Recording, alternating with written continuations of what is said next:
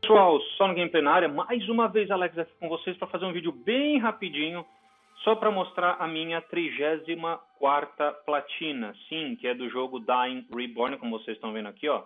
Eu conquistei essa platina no dia 19 de dezembro do ano passado. Então tá aqui, vídeo bem rapidinho. Por que, que não tem vídeo? Como normalmente eu tenho de todas as outras platinas? Porque simplesmente eu fiz uma cagada e esqueci de gravar. Eu fui empolgado com o jogo, o jogo é bem legal, é bem misterioso e tal. Eu gostei do jogo, a platina, como vocês podem ver, é bem fácil, 37%. E eu simplesmente esqueci de gravar, foi só isso.